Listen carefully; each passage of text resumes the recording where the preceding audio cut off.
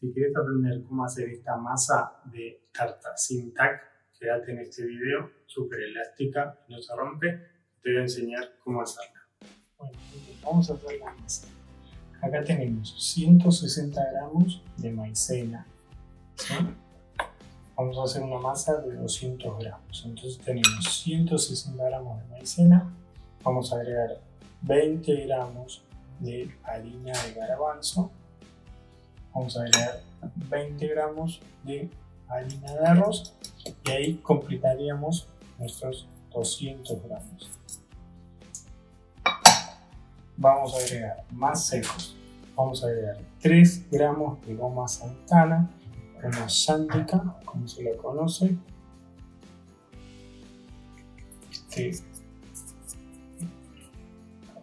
Y vamos a agregar una cucharadita de bicarbonato o polvo de hornear. Eso es indispensable, no puede faltar.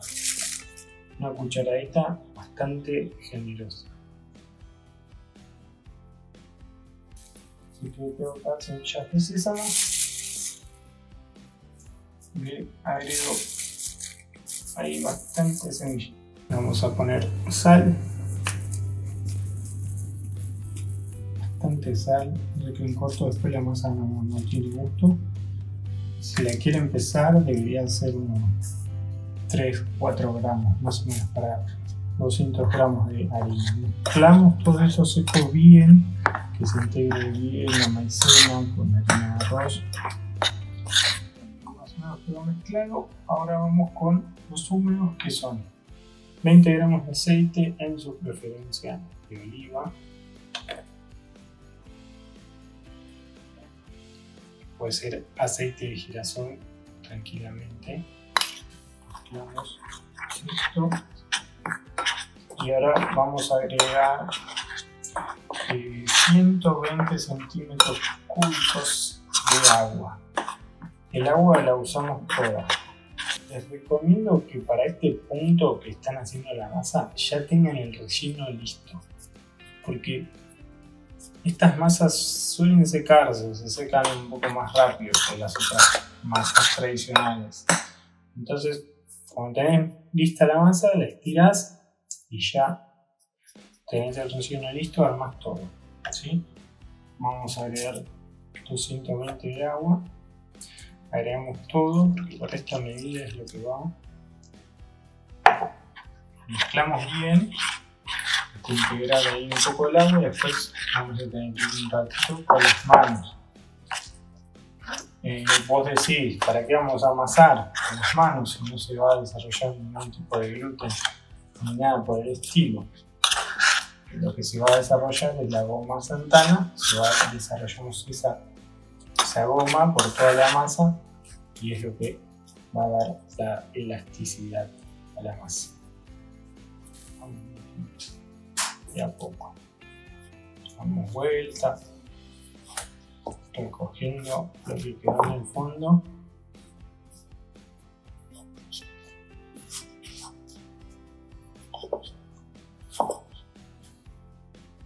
¿Cómo no te tiene que quedar? Así, esto todavía no está. Falta, falta amasar. Vamos y bajamos, bajamos y bajamos.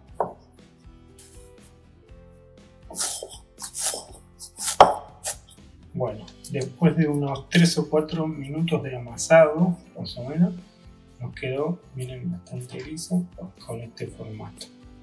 Así es como te tiene que quedar la masa. Esto lo tapamos con algún film, algún trapito un platito para que no se seque porque recuerden son masas que se secan muy rápido. Para estirar les recomiendo que utilicen un poquito de harina de arroz.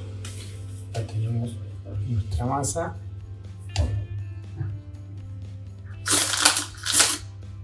un poco de palote, lo he visto hacer a mi abuela, y comenzamos a estirar. Es una masa un poco más dura, la vamos girando. Lo importante es que no se nos pegue abajo.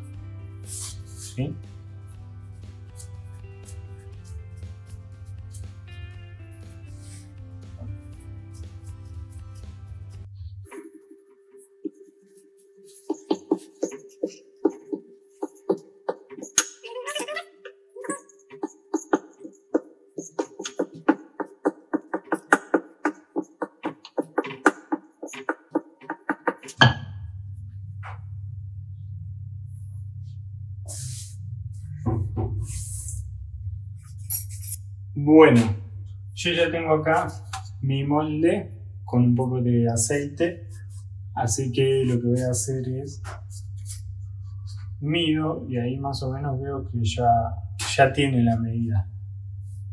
Para este molde que es así hay que dejar como 2 centímetros eh, de distancia para que se le haga un borde adentro. Así que corto ahí mi masa más o menos.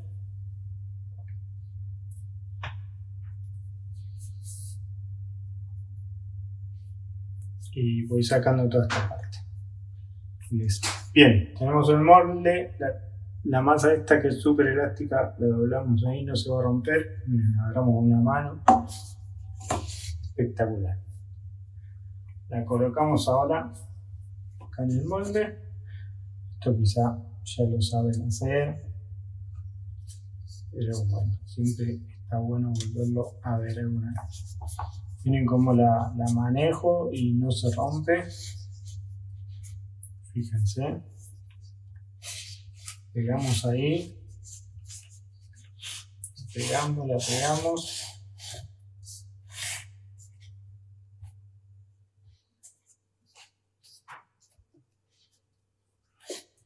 acomodamos bien. Si en este sector les quedó ahí un poco más baja, pueden agarrar lo que sobró lo pegan ahí. Bueno, colocamos nuestro relleno, que ya lo teníamos listo, zapallitos. Yo me hice una tarta de zapallitos para hoy, que es de mis preferidos. Si querés ver cómo hacer este relleno, estoy subiendo un reel por semana con diferentes rellenos de tarta. Cada semana te dejo un reel distinto, un relleno distinto. Bien, ahí nos quedó nuestro relleno. Si le quieren poner queso rallado por arriba y demás, pueden hacerlo ahora, pero yo no lo voy a hacerlo. La llevo al horno y más o menos a 190 grados por unos 30-40 minutos. Así que nos vemos en ese ratito. Bueno, y acá tenemos nuestra tarta con masa sin tac recién salida del horno. Miren cómo nos quedó. Espectacular. Miren lo que es esto, la masa, el relleno. Es una cosa de locos. Espectacular. Miren, quedó bien.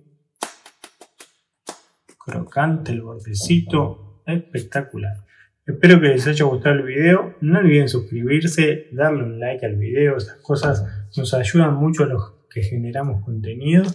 Así que espero que les haya gustado, que les sirva. Cualquier duda o consulta me la dejan en la descripción.